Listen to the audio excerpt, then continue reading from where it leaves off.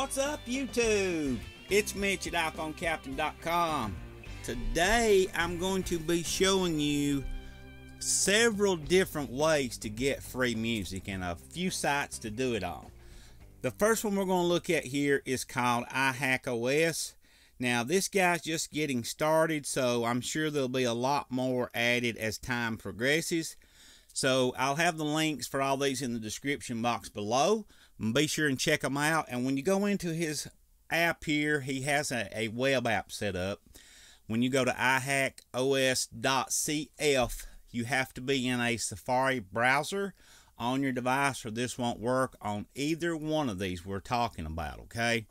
Tap apps down at the bottom and you can see here the plus plus apps. That's where we want to go.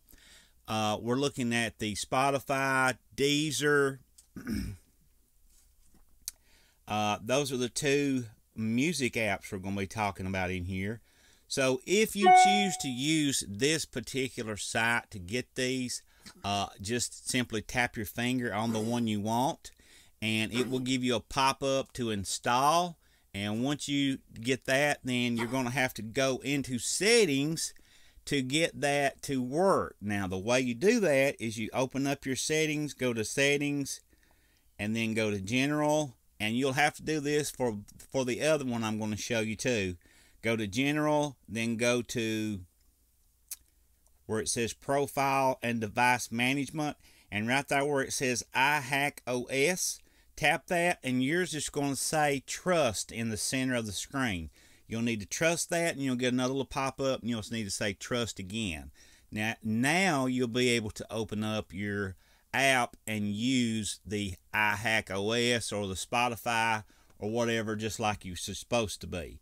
Now, once you download the Spotify app, you'll have to go back in there and do the same thing again for it to get it to work, okay? Now, the next one we're going to be looking at is called Tutu Helper. Now this one here, guys, is going to have about anything and everything you want in here. And it is free. And let me go back out, all the way out and show you what it is I'm talking about. There seems to be some uh, confusion with this particular application here. And I'll take you up here in the in the web browser to tutuapp.vip. You have to go to tutuapp.vip to install this first. I should have started out with that. tap regular right there. Now, the big green download now button, you'll have to tap that and you'll get a little pop up that says install. You'll need to tap install and then it will actually start installing the Tutu app. Okay. Now, once it is installed, it won't open up just like the iHack one. And when you go into settings, you'll have to go to general, device, and profile management I'm sorry, profiles and device management. And I think the name of this one is that S U Z H O U, uh, that that Ching one. Uh, I think that's what it is. Yeah, because you see Deezer Plus Plus is signed under that. Now, sometimes I have trouble signing in, and what I do is I'll open it up in the app switcher, and I'll actually close Facebook out, and I'll close Deezer out too, uh, and we'll just close it all out, Tutu and everything uh, I'll close them all out right here. All of the uh, Spotify, everything I had open up. There's a lot of cool apps you can get for your music, guys. Uh, we're checking out. We're going to check out Spotify Plus Plus in here today, and let me show you exactly how it looks.